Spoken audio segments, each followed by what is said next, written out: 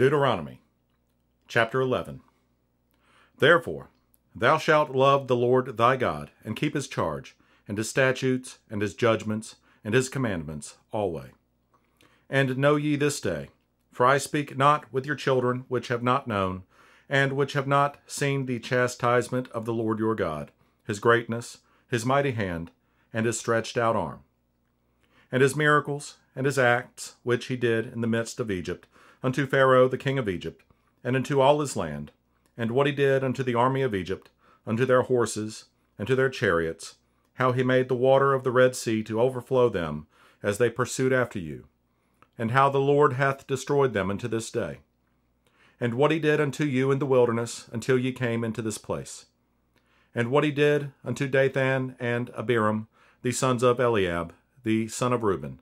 how the earth opened her mouth and swallowed them up, and their households, and their tents, and all the substance that was in their possession, in the midst of all Israel. But your eyes have seen all the great acts of the Lord which he did. Therefore shall ye keep all the commandments which I command you this day, that ye may be strong, and go in and possess the land, whither ye go to possess it, and that ye may prolong your days in the land, which the Lord sware unto your fathers, to give unto them and to their seed, a land that floweth with milk and honey. For the land whither thou goest in to possess it is not as the land of Egypt, from whence ye came out, where thou sowedest thy seed, and wateredest it with thy foot, as a garden of herbs. But the land whither ye go to possess it is a land of hills and valleys, and drinketh water of the rain of heaven, a land which the Lord thy God careth for, the eyes of the Lord thy God are always upon it, from the beginning of the year even unto the end of the year. And it shall come to pass, if ye shall hearken diligently unto my commandments, which I command you this day, to love the Lord your God, and to serve him with all your heart and with all your soul, that I will give you the rain of your land in his due season, the first rain and the latter rain, that thou mayest gather in thy corn and thy wine, and thine oil. And I will send grass in thy fields for thy cattle, that thou mayest eat and be full. Take heed to yourselves, that your heart be not deceived, and ye turn aside and serve other gods and worship them. And then the Lord's wrath be kindled against you, and he shut up the heaven, that there be no rain,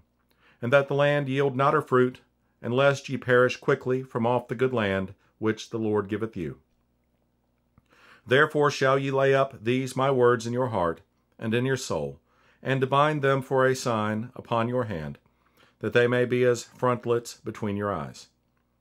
And ye shall teach them your children, speaking of them when thou sittest in thine house,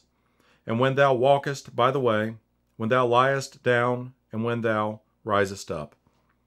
And thou shalt write them upon the doorposts of thine house, and upon thy gates, that your days may be multiplied, and the days of your children, in the land which the Lord sware unto your fathers, to give them as the days of heaven upon the earth. For if ye shall diligently keep all these commandments which I command you, to do them, to love the Lord your God, to walk in all his ways, and to cleave upon him, then will the Lord drive out all these nations from before you, and ye shall possess greater nations and mightier than yourselves Every place whereon the soles of your feet shall tread shall be yours, from the wilderness and Lebanon, from the river, the river Euphrates, even unto the uttermost sea shall your coast be. There shall no man be able to stand before you. For the Lord your God shall lay the fear of you and the dread of you upon all the land that ye shall tread upon, as he hath said unto you. Behold, I set before you this day a blessing and a curse. A blessing, if ye obey the commandments of the Lord your God, which I command you this day. And a curse, if ye will not obey the commandments of the Lord your God, but turn aside out of the way, which I command you this day, to go after other gods, which ye have not known. And it shall come to pass, when the Lord thy God hath brought thee in unto the land whither thou goest to possess it, that thou shalt put the blessing upon Mount Gerizim, and the curse upon Mount Ebal. Are they not on the other side Jordan, by the way where the sun goeth down, in the land of the Canaanites, which dwell in the champaign over against Gilgal, beside the plains of Moreh? For ye shall pass over Jordan, to go in to possess the land which the Lord your God giveth you, and ye shall possess it, and dwell therein. And ye shall observe to do all the statutes and judgments which I set before you this day.